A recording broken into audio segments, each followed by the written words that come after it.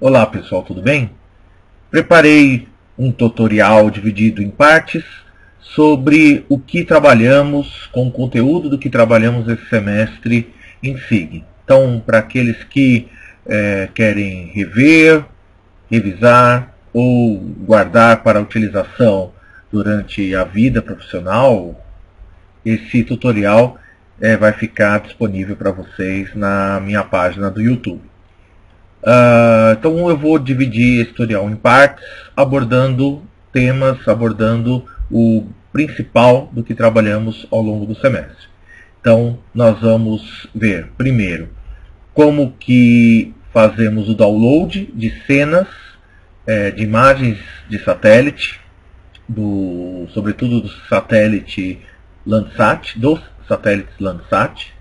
Depois, como que nós preparamos essas imagens, como que nós fazemos a composição colorida, tanto de cor verdadeira como falsa cor infravermelho dessas imagens.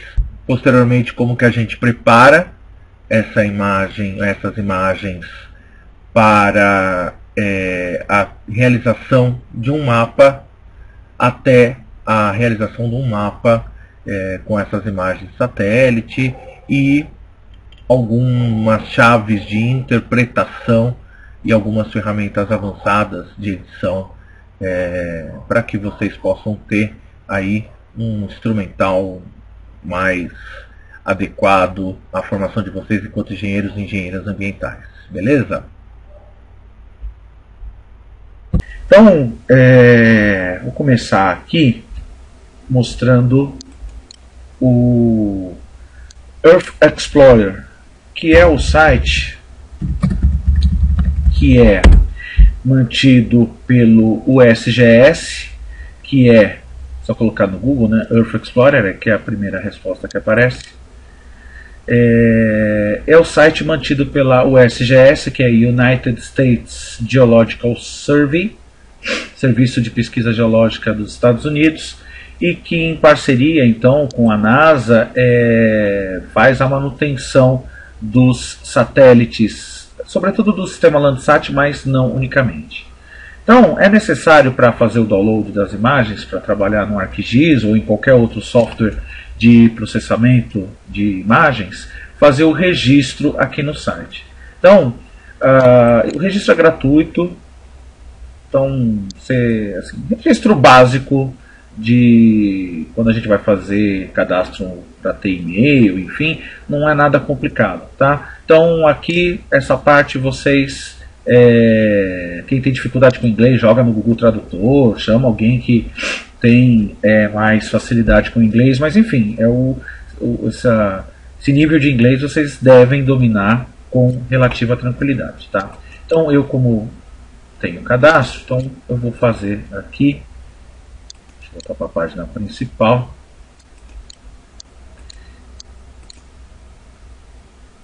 Eu vou fazer o meu login aqui.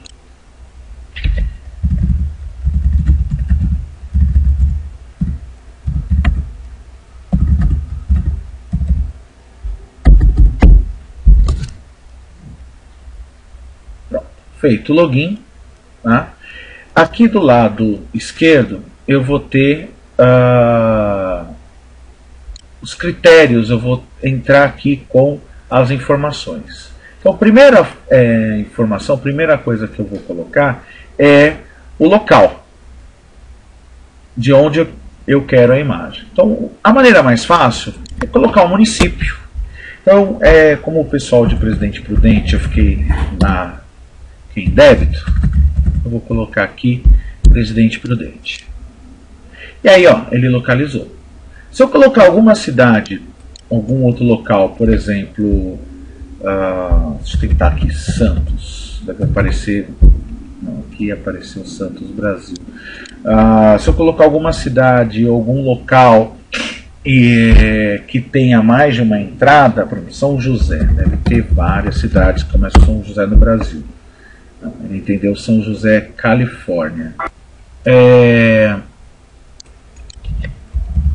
Maria.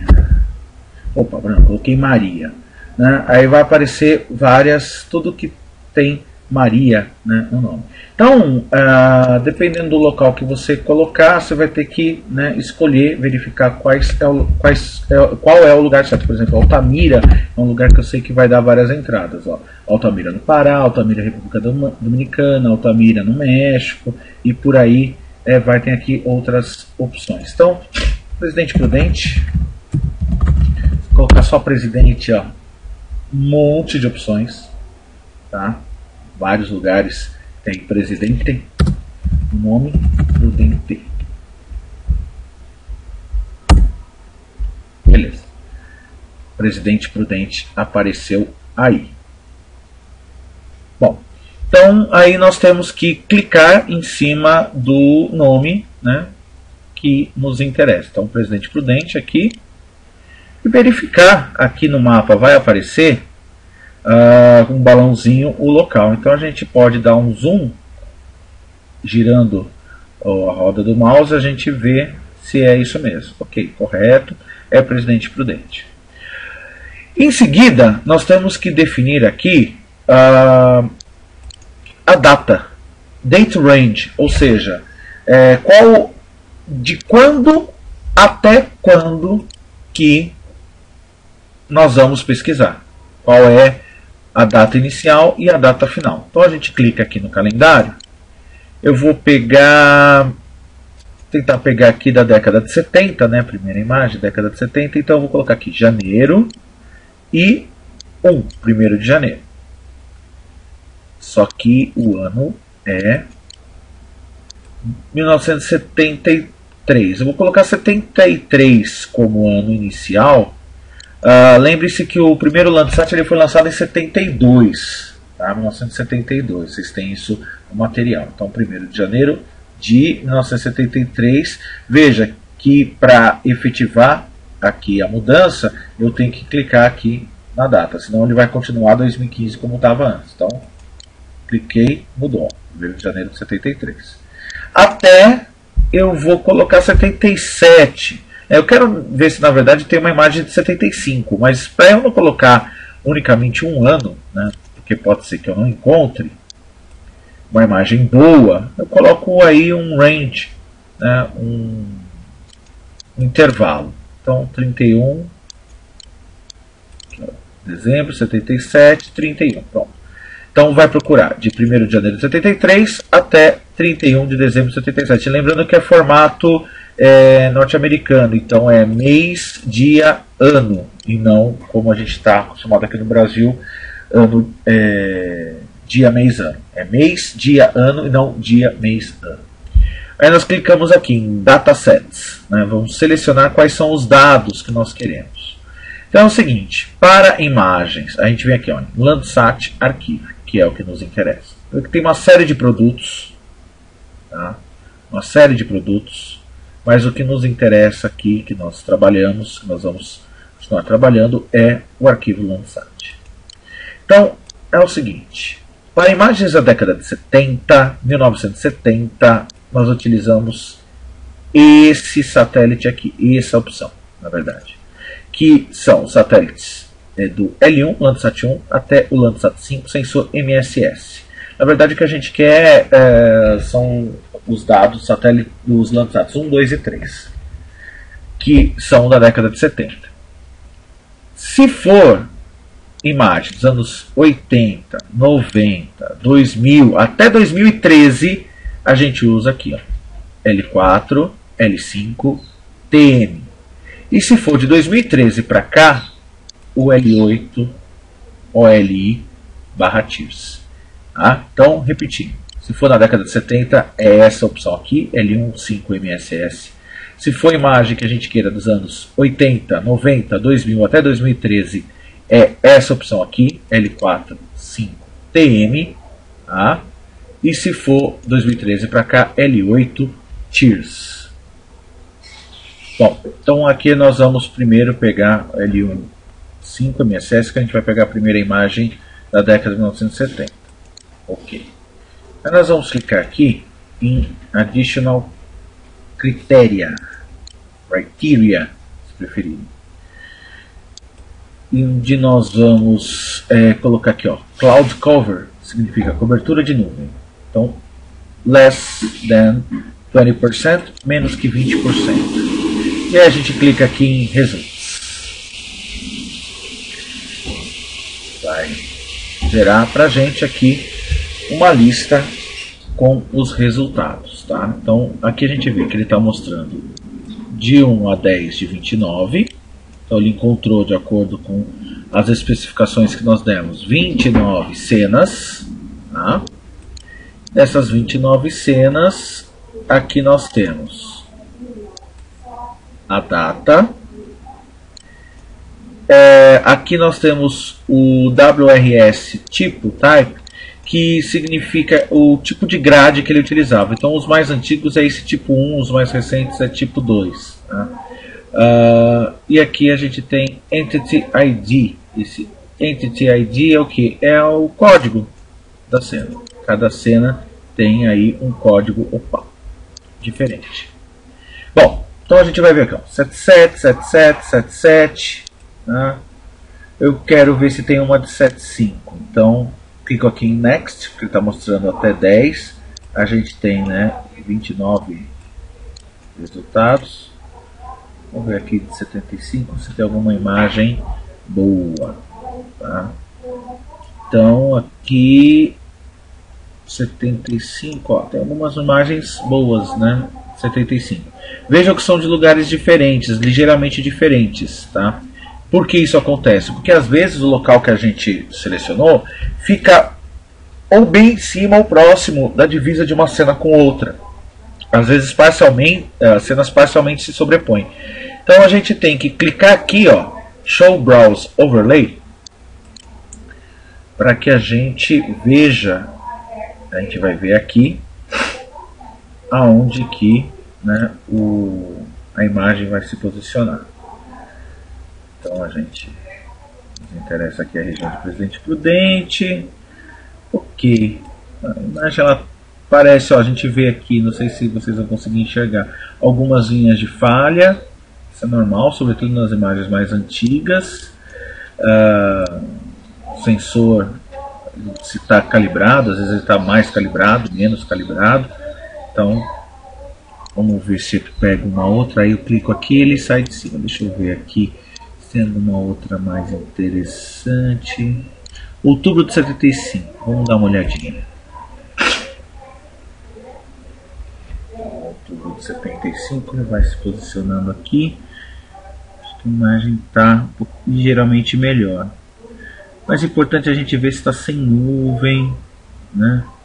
Essa imagem ela está com algumas pequenas linhas mas a princípio ok. Tá? Então vou fazer o download da cena. Então como que eu faço o download da cena? Eu venho aqui em uh, Download Options e aí eu vou sempre usar essa opção, ó, Level 1, nível 1, produto, produto de nível 1. Uh, ah, vejo que para essa imagem, para essa cena que é do Landsat, aqui a gente vê ó, L, opa, é, LM2 significa que é o Landsat 2. Tá? Então, para essa, é, para as imagens Landsat 1, Landsat 2, Landsat 3, as imagens elas são relativamente pequenas, ou melhor, bem pequenas mesmo. Então, 24.3 megabytes. Tá? Então, eu vou clicar aqui em Download. E, já vou, e aqui eu seleciono onde eu vou fazer o download. Né? Se o, o navegador de vocês estiver configurado para é, perguntar. Então eu vou fazer o download aqui, na minha, direto da minha pasta ArcGIS. Tá? Eu criei aqui uma pasta das imagens que eu peguei, estou pegando para vocês. E vou criar aqui uma nova pasta Presidente Prudente. Importante nomear as pastas é, sempre, os arquivos, de maneira que vocês olhem para o nome do arquivo e saibam o que significa. Bom, então vou clicar aqui e vai salvar. Como é um arquivo relativamente pequeno, ele vai aqui rapidinho, ele já vai estar tá salvo.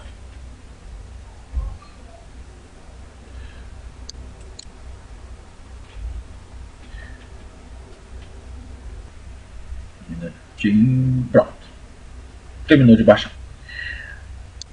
Vou pedir para me mostrar na pasta. E aí a gente tem aqui um arquivo compactado. Tá? O que, que eu faço aqui? Eu peço para ele descompactar. Né? Aqui eu tenho algumas opções. É, eu sempre peço para ele já descompactar para uma pasta. Né, que essa opção aqui, a terceira, ou quarta na verdade, antes de eu abrir, é, depois de eu abrir, é, pra, se eu clicar em extrair aqui, ele vai é, liberar os arquivos todos é, soltos. Então eu sempre organizo dentro das pastinhas. De pastinhas. Arquivo aqui, ele baixou para cá. Tá? Então eu vou renomear a pasta que fica mais fácil para eu localizar. Então, ó, LM2 eu sei que é Landsat 2. Esse 239075 aqui, é, eu não preciso deixar porque hum, não é uma informação que eu vou olhar e saber o que significa, que é o, a coluna e a linha de, acordo com o, a grade WRS. Então eu tiro. E aí, 1975 é o ano que a imagem foi captada. Esse 286 é o dia do ano, então é o do centésimo octagésimo sexto dia do ano de 286. Aqui também não vou deixar, eu só LM2 1975, eu já sei que é a imagem que eu peguei de 1975. Aqui dentro da pasta né, tem aqui uh, os arquivos das imagens. Vocês veem que o Landsat 2, assim como o e o 3, ele vem com quatro imagens apenas. A banda 4 ela é verde, banda 5 vermelha, banda 6 infravermelho, banda 7 também infravermelho em, outra, é, em outro comprimento de onda. Não tem azul. Verde, vermelho, infravermelho, infravermelho não tem azul. Então, é, não tem como a gente fazer uma composição colorida de cor verdadeira de maneira automática, como a gente fez em aula com as imagens do Landsat 8, por exemplo. Tem um esqueminha que eu vou mostrar para vocês, tá? É um, uma adaptação técnica. Tá? Aqui a gente tem o arquivo de dados, de metadados. Né? É, se vocês não. Eu tenho aqui esse programinha que é o Notepad, que não tem, abre com Word mesmo. É, porque se vocês forem abrir com bloco de notas, ó, ele fica todo zoado para ler. Tá? Se vocês abriram com Word, por exemplo, é, vou até fazer isso. Vou abrir com. Deixa eu escolher aqui o Word para abrir. Cadê você? Aqui, Word. Vou abrir com Word como vocês não devem ter, ou pelo menos a maioria não tem o Notepad++, como que ele fica no Word. Aí. Tá? Então, esse aqui é o conteúdo daquele arquivo. Então, isso eu mostrei em sala de aula também para vocês. Ah, o que nos interessa aqui mais é o seguinte. É, Landsat 2, sensor MSS, que é o sensor mais antigo, a data de aquisição da imagem, é, aqui está no formato ano, mês, dia. Ou seja, 13 de outubro de 75. Tá? Aí a gente tem as coordenadas de latitude e longitude dos cantos da imagem. Tá? Na projeção UTM aqui também tem os códigos, enfim. Tá? Aí nós temos aqui ó, o nome dos arquivos que estão aí dentro e tal. Então, essa é, essas são as informações né, mais importantes aí para gente. Ó. Aí vocês veem ó, o tamanho da célula, ou seja, o tamanho do pixel é 60 metros. E aqui vocês veem que está tá em UTM, em WGS 84, a zona UTM é a 22. Isso é importante para a hora de fazer a reprojeção. Tá? Mas dentro do ArcGIS a gente visualiza essas informações também fechando aqui. E aí vamos para o ArcGIS então. Uh, depois eu, a gente faz o download de, um, de outra imagem para vocês, né? Ou melhor, vamos fazer o download de todas as imagens primeiro, depois a gente vai direto para o ArcGIS aqui para trabalhar. Então vamos agora fazer, a gente fez a década de 70, vamos para a década de 80. Então vamos lá. Como que eu faço? Eu volto aqui no começo, ó, Search critério. Clico aqui, então não vou mudar o meu lugar, continua, né? Presidente Prudente, vocês estão vendo aqui. O que eu vou mudar aqui é a data. Então agora eu quero de uh, ó, vocês veem que como está 77 o final, ele não vai me deixar procurar a data inicial ser posterior à data final. Então eu vou alterar aqui primeiro a data final. Então eu quero uh, 87, vou colocar 83 e 87. Se eu coloquei aqui como busca 73 77, vou colocar agora 83 e 87. Então 1987, né? 31 de dezembro de 87. É, agora eu vou colocar 83. 1 de janeiro de 1983. Né? Datasets. Agora não é mais o MSS, ele 15 MSS. Agora é. Só tirar isso daqui. Agora é o L45TM. Então eu desclico aqui.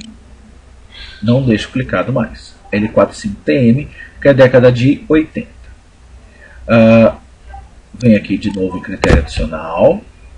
De novo eu vou colocar aqui cobertura de nuvem menor que 20% e vou clicar em resultados. Ele vai pesquisar. Ó, ele me deu aqui de novo. Ó.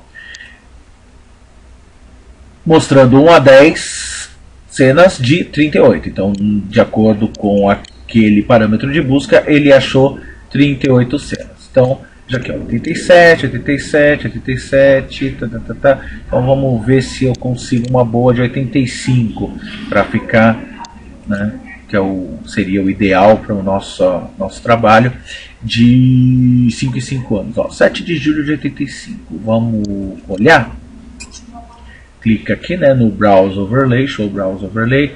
Ó, veja que ele mostrou diferente. Nossa, se vocês forem lembrar, lembrar de como ele colocou é, a imagem dos anos 70, veja que o posicionamento está diferente. Por que isso ocorre? Porque mudou a mudou o sistema de referência, tá?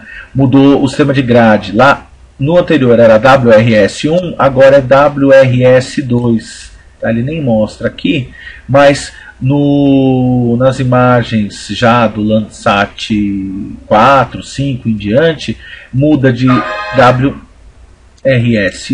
para WRS2. Então, a gente tem que olhar se vai pegar o que a gente quer. Pega aqui presente prudente, a gente vai trabalhar com município, então creio que belezinha. Vamos dar um zoom aqui, a imagem acho que está legal, bacana. Então vou pegar essa aqui mesmo, né? Então clico aqui em Download Options. Vejam, ó o tamanho da imagem como já ficou bem maior. 116.3 megabytes. Tá? Então eu vou aqui fazer o download. Por que, que a imagem é bem maior? Porque é outro sensor. O sensor do Landsat 5 é o sensor TM, tá? Veja aqui, ó, LT5, Landsat T de TM, Thematic Mapper, que é o sensor, é, e aqui o 5 do, do número da aeronave. Então, Landsat 5, LT5.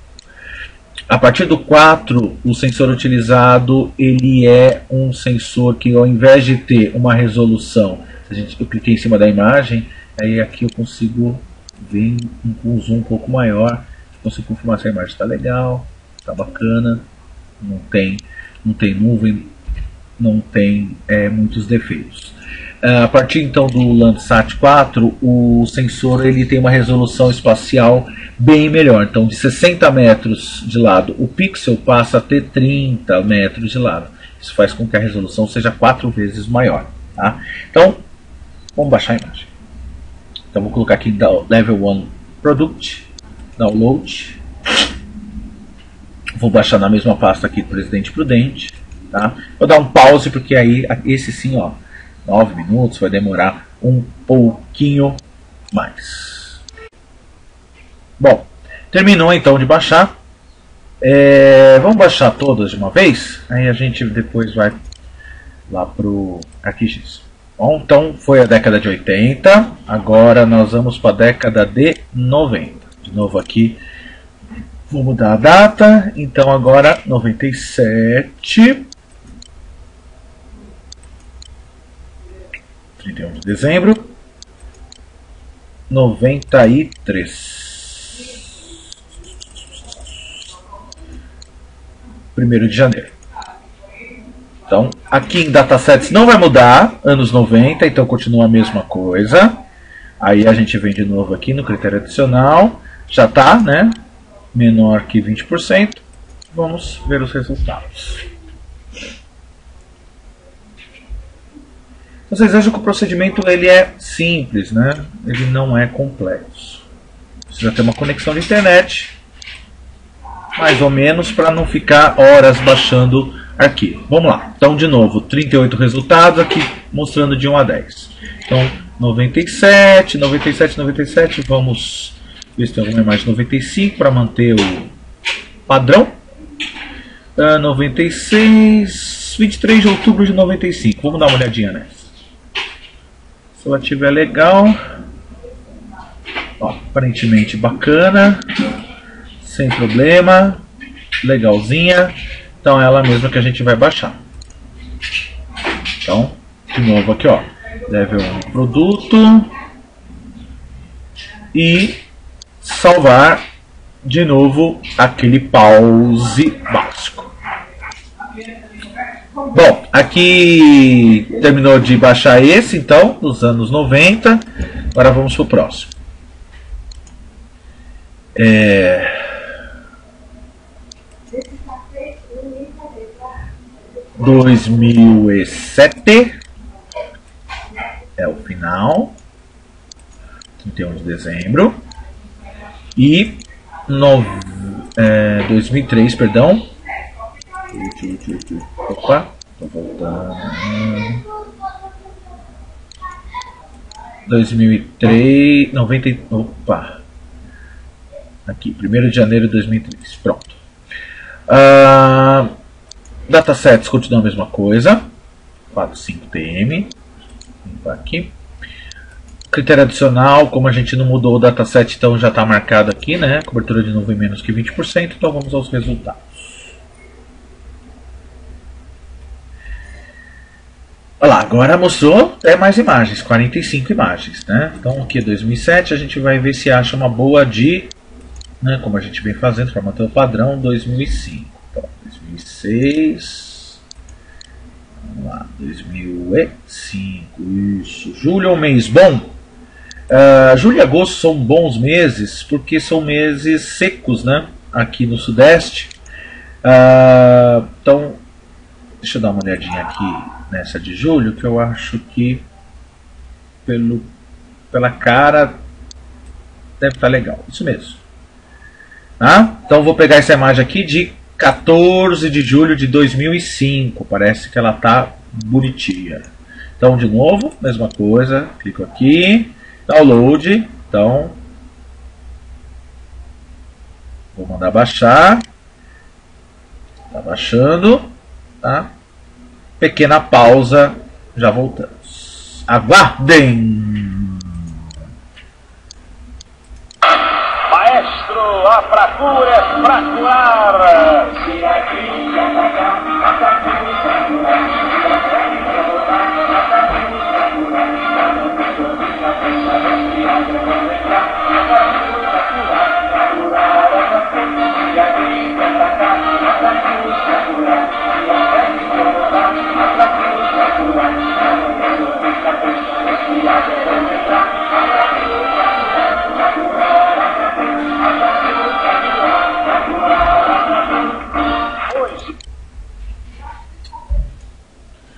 Depois desse breve comercial, terminou de baixar aqui.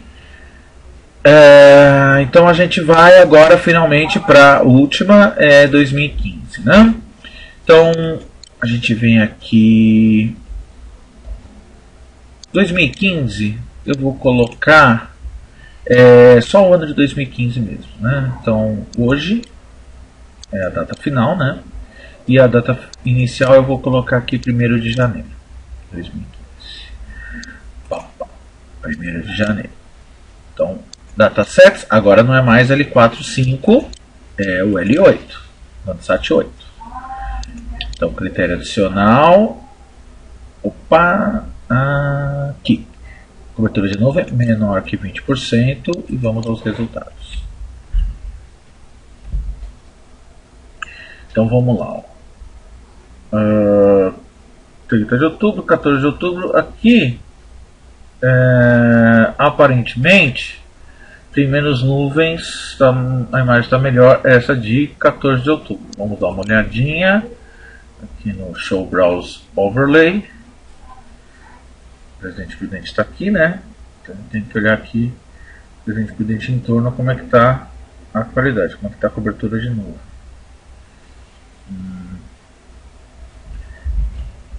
Parece ter um pouquinho de nuvens bem aqui, ó. Se a gente aproximar, vocês vão ver que tem um pouquinho de nuvens.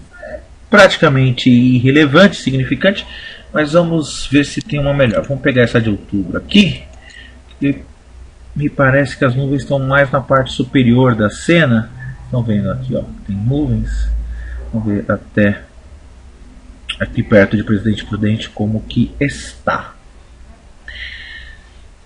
Então, essa questão da seleção da imagem é importante, né, da gente verificar como que estavam as condições atmosféricas. Né? Quanto menor cobertura de nuvens, melhor. E tanto para a visualização em si do, do solo, mas também ah, por conta da, do efeito da atmosfera sobre a radiação. Então a atmosfera ela absorve radiação, ela espalha, então a perda, a alteração no espectro, no, na radiação que retorna para o sensor do satélite e que o satélite capta. Então aqui também tem alguma coisinha, né? Aqui é eu já tá eu já estou com um pouco de excesso de preciosismo, né? Mas excesso de preciosismo é meu nome do meio. Essa de agosto, como eu disse para vocês, né? Agosto em geral é um mês bom aqui para imagem, julho, agosto é um mês bom aqui para imagens na região sudeste, sobretudo mais para o interior. Pelo que eu estou observando aqui, nada de nuvem. E vai ficar bem legal. Maravilha, ó. Limpinho, limpinho. Limpinho, limpinho. Então vamos fazer o download. Download options. É essa aqui, é essa mesmo. 11 de agosto de 2015. Então, olha o tamanho da imagem. Se vocês compararem com, com as anteriores, né? Mesmo o Landsat 5 que a gente pegou dos anos 80, 90 e de 2005 era 100, era menos de 200 megabytes. Ah, meu Deus. Não me atormente novamente. Ah, veja aqui, ó, compactado 888.8 megabytes. Depois de compactar, vocês vão ver que vai passar de 1 gigabyte. Então, o sensor do Landsat 8 ele é mais preciso e ele tem mais imagens, ele tem mais cenas, ele tem uma quantidade maior de produtos né, que estão contidos nessa imagem de Altif. Mas beleza, vamos, Paulo, vamos baixar. Vamos lá. Baixando. E essa vai demorar aqui um cadinho, né? Não vai demorar todas essas três horas aqui que está prometendo no início, mas aí uns 40 minutos pela minha conexão de internet aqui, ele deve demorar que não estou com essa bola toda para ter conexão Ultra Mega Blaster rápida. Então, mais um intervalinho. Bom, pessoal, terminou de gravar, terminou de baixar, perdão, e estão todos aqui na pasta, né? Então eu tenho aqui LM2, que eu sei que é o Landsat 2, 1975. O uh, LT5, tem três pastas LT5 que começam com esse nome, que são do Landsat 5. Aqui eu tenho 85, 95, 2005 e o do Landsat 8 do ano 2015. Então eu posso é, extraí-las, eu posso descompactá-las todas de uma vez. Então é só eu selecionar né, todas essas cinco pastas de uma vez e aí, clicando com o botão direito, eu peço para extrair cada arquivo para uma pasta separada. Aí ele vai começar o processo de extração. Tá? Como esse processo de extração, como são várias pastas, e uma delas tem mais de 800 MB, é um processo que demora um pouquinho, então vou dar mais uma pausada. Então, é, baixou, né? As pastas todas, baixou não, é, descompactaram. E conforme eu tinha feito lá antes até, eu vou renomear as pastas. Para eu conseguir visualizar, para eu conseguir identificá-las, na verdade, de maneira mais fácil. Então, 1985. Aqui é 95. Vai seguir o, nome do arquivo segue essa sempre essa ordem, né? Então aqui LT, então Landsat, sensor TM, uh, o número é 5. Eu vou colocar um tracinho só para separar. Aqui 220.075 é a coluna e linha da grade, WRS2, 2005 ano. Aí o resto eu posso pagar. E deixo assim. Mesma coisa, LC8, então é espaçonave Landsat, sensor ALI, 220.075 eu tiro, deixo 2015, resto eu tiro e pronto.